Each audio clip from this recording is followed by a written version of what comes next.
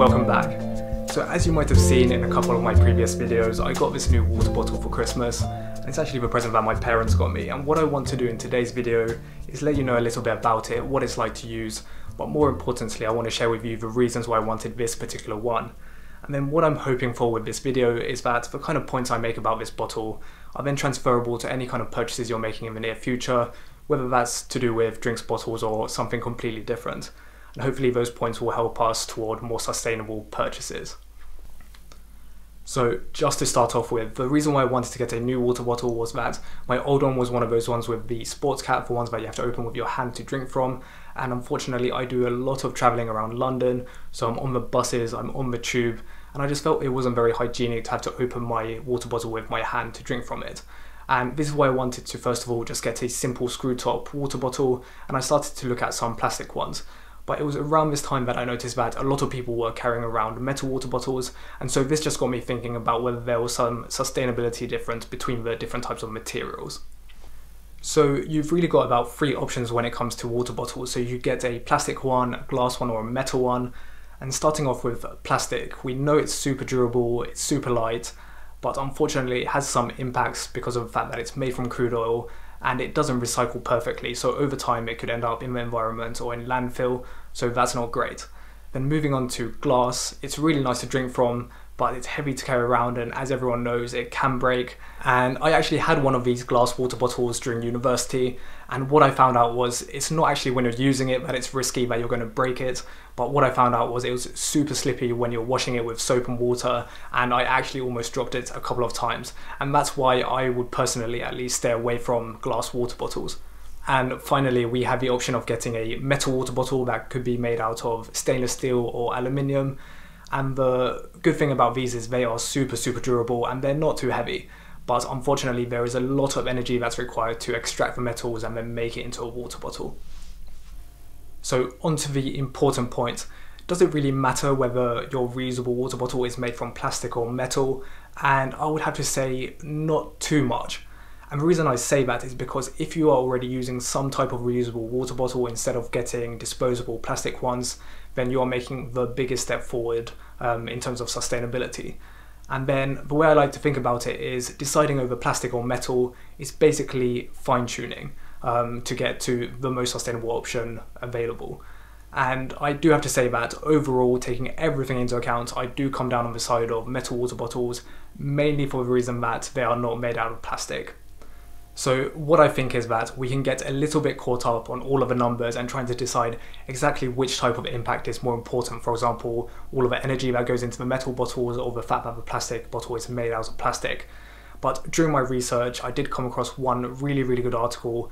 It summarizes perfectly all of the sustainability details of the different materials and why metal does come out on top. So for those of you who are interested in a little bit more detail, feel free to look at the article. I'll leave in the description for you.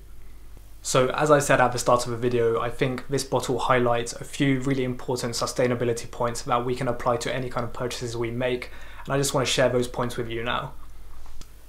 The first of these points is to try and stay away from plastic as much as possible. And the reason for this is that it's derived from crude oil, which is non-renewable, and it's not actually perfectly recyclable. And what this means is that over time, it will find its way to landfill or the environment, and when it does that, it will be hanging around for a long time. The bottle which I have, it uses no plastic whatsoever. What it does have is a silicone ring on the lid so that once you close it, it will be watertight. And that again is 100% recyclable the same way that metal is.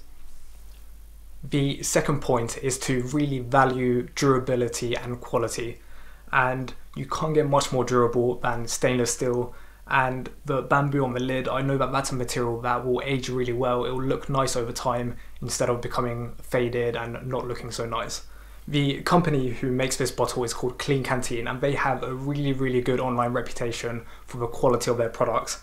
And their main business is to make these uh, drinks bottles and other food products out of stainless steel.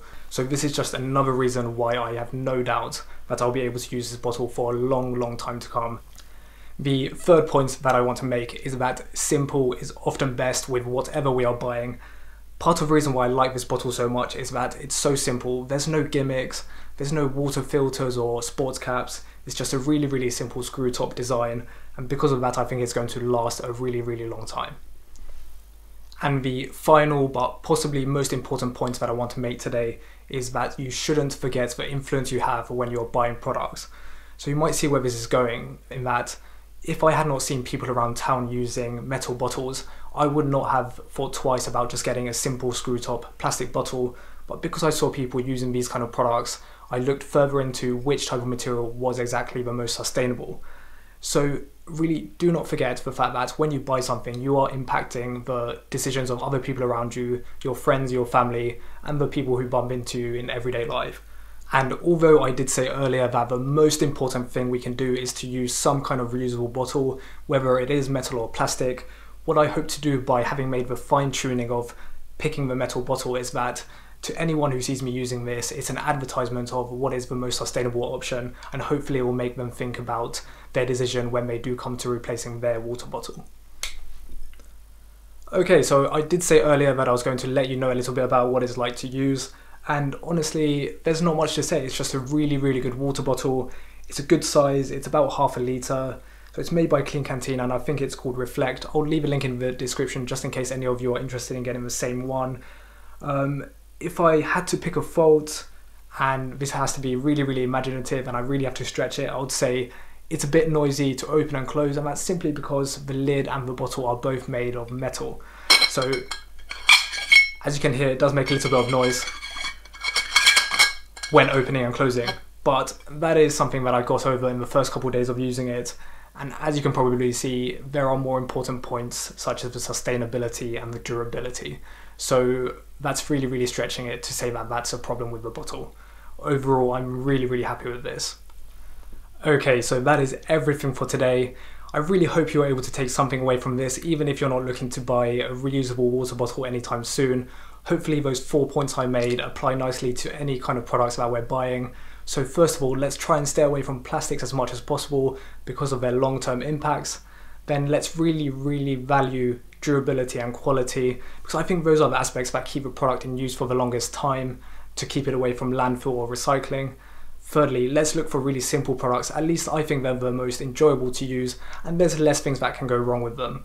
And then finally, a point which I think is slightly neglected when we think about sustainable options and sustainable products is that we have a real influence on the people around us who see us using those products. So whether that's our family, our friends, or just people who we meet randomly around town. So please keep those points in mind. I think my next video will be about sustainable dental care but until then, thank you so much for watching and I hope to see you in my next video.